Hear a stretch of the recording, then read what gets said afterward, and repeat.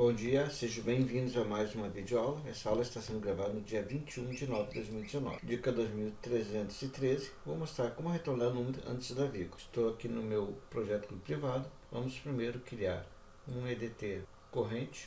Botão direito Description, ele vai chamar EDT valor. Vou dar um OK. Vamos criar outro corrente. Botão direito Description, ele vai se chamar EDT valor 1.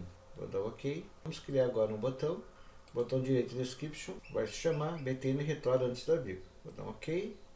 Vamos entrar no código do botão.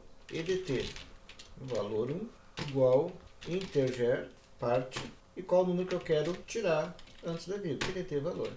Simples assim.